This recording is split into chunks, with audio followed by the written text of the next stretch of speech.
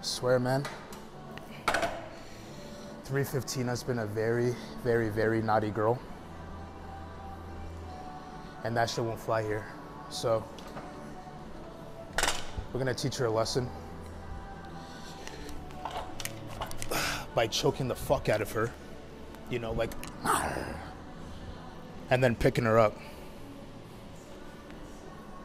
So, like, choking her and picking her up off the ground. And we're gonna say, no, you don't do that.